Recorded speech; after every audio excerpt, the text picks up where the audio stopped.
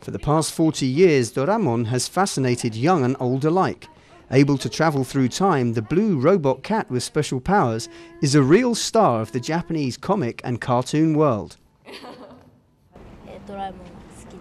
I like Doraemon because he comes from the future.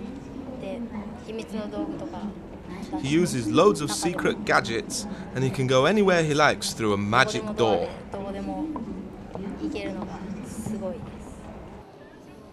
While Doraemon is from the future, many of his magical gadgets have now become science fact. This exhibition by the Miraikan Museum, the Tokyo Museum of Sciences of the Future, gathers various technological breakthroughs linked to Doraemon's universe. A large area is dedicated to all sorts of robots, particularly those able to communicate such as these artificial plants that nod in reaction to the human voice. Another oddity, this slightly more sophisticated teddy bear named Kaiwa, which means conversation in Japanese.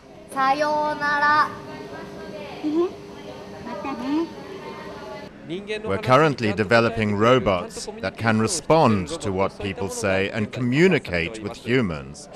While no one has managed to develop a propeller quite like the one on Doraemon's head that allows him to fly, this one person mini helicopter comes close.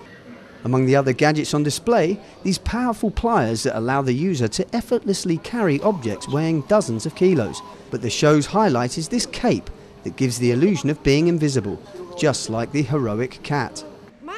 This system gives the wearer the illusion of invisibility by projecting the background image onto the front of the clock. The futuristic effect is achieved thanks to a high-tech video camera. This invention may still need some work, but the futuristic world of Doraemon has come one step closer.